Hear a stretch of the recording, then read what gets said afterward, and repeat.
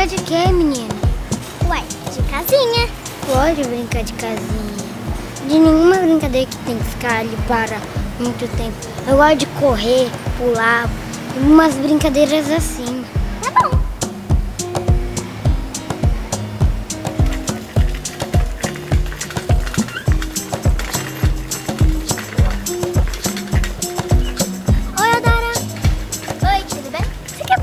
Comigo?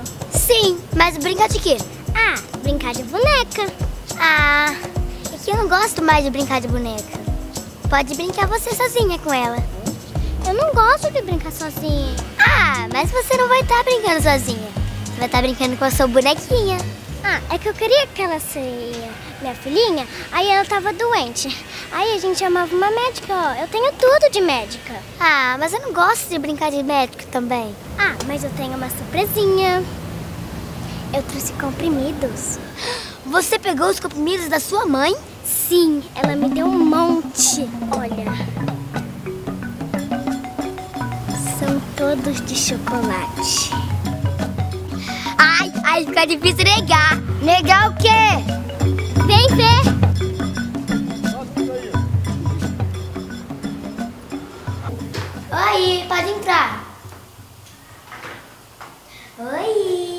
Seu problema? Eu não tenho problema nenhum. Não, com ela. Ah, o problema dela, ela fica chorando muito. É quando a lua se começa a brilhar até o sol nascer. O seu Diego é um cara muito bom. E ele pode ajudar o seu problema. Olha, ele é muito bom com criança e ele pode ajudar vocês. Ele pode receitar alguns remédios, ver qual é o probleminha dela. É só você sentar ali e esperar. Eu só vou avisar pra ele. Doutor Diego! Tem uma pessoa esperando!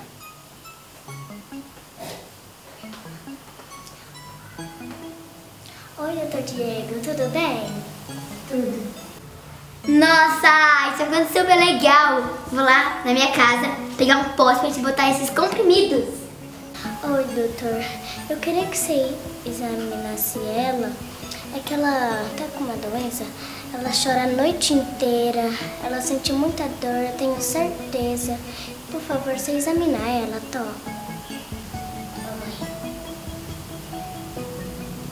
O coração tá bom.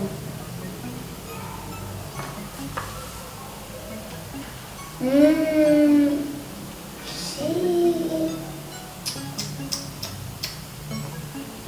Último, e primeiro, uma injeção. Pode segurar, mamãe.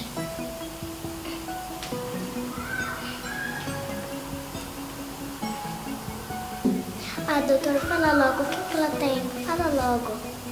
Ela tem um problema sério na bacia, um outro problema que é batata na perna e outro é no cérebro. Tem que tomar esse comprimido que é para bacia, esse aqui que é muito bom, que é para perna, batata, batata na perna, hum, delicioso. Esse aqui é o melhor ainda do cérebro. Eu, tô, eu como eles todos porque eu tenho esse problema também.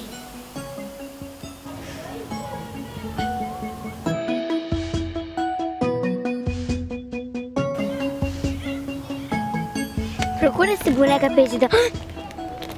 Criança doente? Essa é a boneca. Não acredito nisso. Nádia, você é louca. Você roubou essa boneca? Ah, eu adotei. A outra mãe dela deixou ela lá embaixo do balanço. Eu peguei ela pra mim. Isso se chama adoção. Não, Nádia. Isso se chama roubo. E você vai agora levantar essa bonita dessa cadeira e lá dá pra dar a boneca pra menina.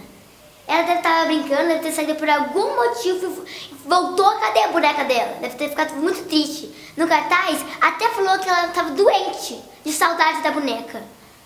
Ah, não. Eu mesmo vou ligar. Eu quero dar essa boneca. Isso é roubo. Vou telefonar pra mãe dela. Vou ligar pra ela. número... Não, liga pra ela, por favor, não! Alô? Tudo bem? É, a gente encontrou a boneca Milena, né? Então, a gente contou já faz uns dias, mas a gente deixou, tipo assim, aí foca com a boneca pra se alguém ligasse pra saber, sabe? Óbvio que a gente deveria ter botado achados e perdidos do prédio, né? Mas tudo bem. É, a gente pode ir aí pra devolver? Qual é o seu andar? Seu número e seu apartamento. Tá, obrigada. A gente tá indo aí. Ah, e ela melhorou? Falou que é criança doente? Essa eu não entendi. Ela tava doente porque tava com saudade da boneca? Ah, tá. Que bom que ela melhorou. Já estamos indo aí pra, pra devolver a boneca, tá? Ela tá bem direitinha, igual como tava.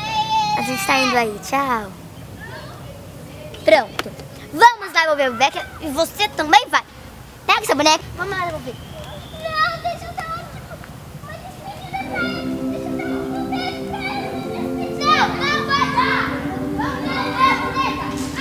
Muita gente diz por aí uma coisa que não é certa. Achado não é roubado. Isso, na verdade, é um grande erro. Que quem acha tá roubando de alguém que perdeu. Isso não é nada justo. Depois, com mais calma, eu conversei com a Nádia e ela acabou entendendo.